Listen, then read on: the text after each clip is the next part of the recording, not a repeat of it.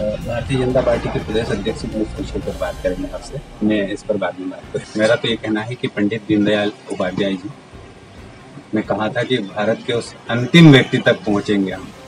और मैं मध्य प्रदेश के उस अंतिम विकास खंड का अंतिम व्यक्ति हूँ जहाँ तक भारतीय जनता पार्टी पहुँची और मुझे ये अवसर देने के लिए कहा तब मैं कॉलेज में ही था, ये भारतीय जनता पार्टी कर सकती है।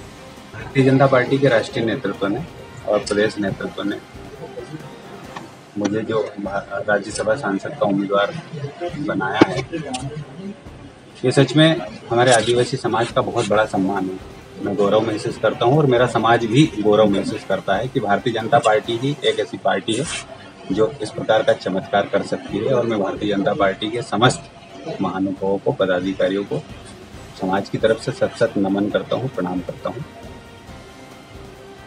इस अवसर पर मुझे राज्यसभा प्रत्याशी बनाया और पार्टी ने मुझको जो दायित्व देने के लिए तैयारी की है तो मैं पार्टी के विश्वास पर पूरी तरीके से खरा उतरने का प्रयास करूँगा।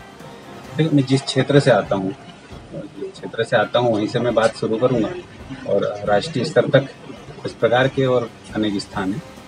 तो मैं चाहता हूँ कि मैं उच्च शिक्षा से आया हूँ तो उच्च शिक्षा के क्षेत्र में कुछ अच्छा करने का प्रयास करूँगा। स्कूल शिक्षा में भी मैं रहा हूँ, उसमें भी अच्छा करने का प्रयास करूँगा।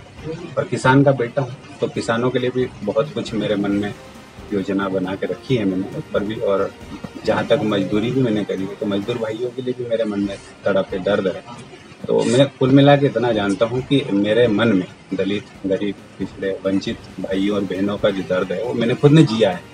मेरे मन का दर्द मुझे आत्मविश्वास देता है और मैं इस आत्मविश्वास के दम पे भारतीय जनता पार्टी के द्वारा दिए गए इस दायित्व का निर्वहन पूरी ईमानदारी के साथ, पूरे विश्वास के साथ करूँगा और उनमें भारतीय जनता पार्टी के विश्वास पर खरा उतरूँगा।